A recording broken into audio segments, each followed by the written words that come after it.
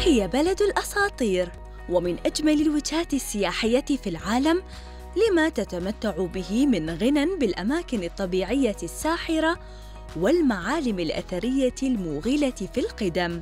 تتألف من مئات الجزر البعض منها مأهول بالسكان مع الكثير من المواقع التاريخية والأثرية والطبيعة الغناء الممتدة على شواطئ ساحل البحر المتوسط وبحر إيجا. لذا فهي تجمع الجمال والتاريخ بين أرجائها مما يجعلها وجهة سياحية متعددة المذاق. أهلا بكم في اليونان. نبدأ جولتنا السياحية في أثينا عاصمة اليونان وأقدم مدنها. اشتهرت بكونها مهدا للفن والفلسفة ومركزا للفنون والتعلم. وقد كان لها تأثيرها الثقافي والسياسي على القارة الأوروبية والعالم بشكل عام. وهي مدينة التلال السبعة والطبيعة الجبلية الخرافية.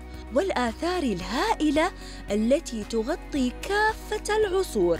وهي المدينة الأوروبية التي تستضيف ما يقارب من عشرة ملايين سائح سنوياً من جميع أنحاء العالم حيث يأتي الجميع لزيارة مسقط رأس الحضارة الغربية.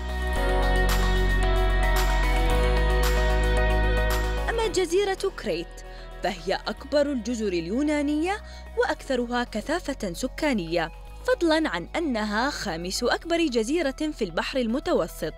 ولها الكثير من الخصوصية لما تتمتع به من فرص مثالية للاستمتاع بأجمل الأجواء والأماكن السياحية.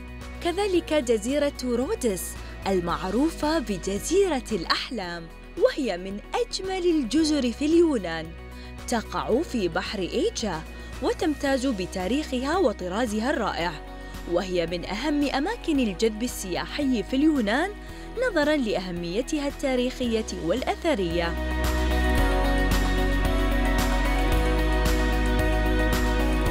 ومن المدن والجزر المليئة بالصخب والضوضاء إلى جزيرة سانتوريني حيث الهدوء والطبيعة الساحرة والرونق الفريد تتميز سانتوريني بالمنحدرات الجبلية المغطاة بالمنازل والأبنية العتيقة ذات القباب الزرقاء والبيضاء إلى جوار الشواطئ الرملية الفريدة.